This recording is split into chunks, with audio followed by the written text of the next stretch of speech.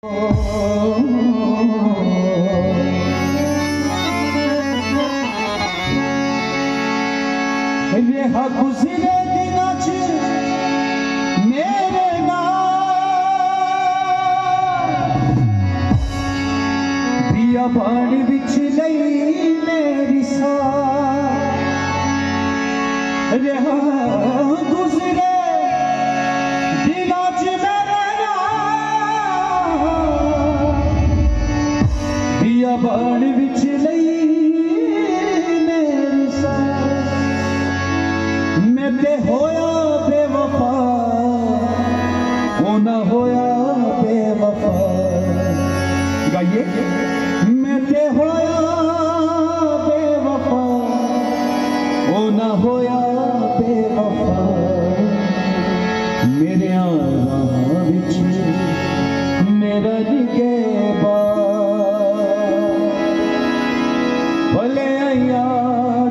यादि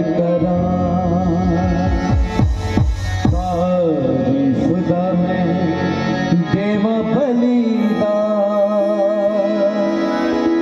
भले यादि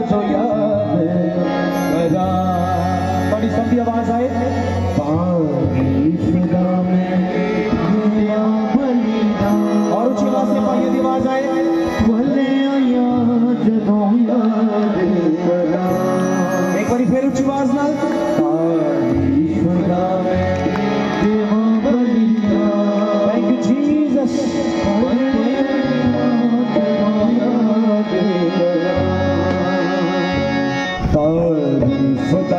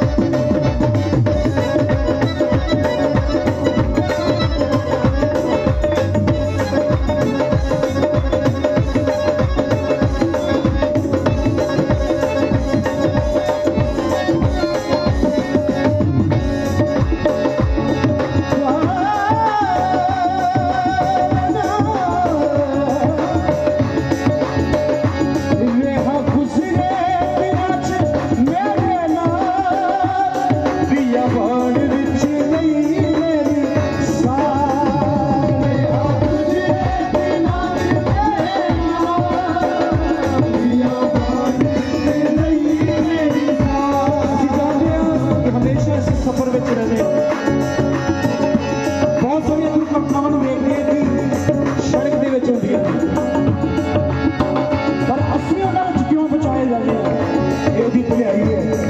ਕਿਉਂਕਿ ਉਹ ਸਾਡੇ ਨਾਲ ਰਹਿੰਦਾ ਸਾਡੇ ਕੋਈ ਐਸੀਆਂ ਖੂਬੀਆਂ ਲਿਆ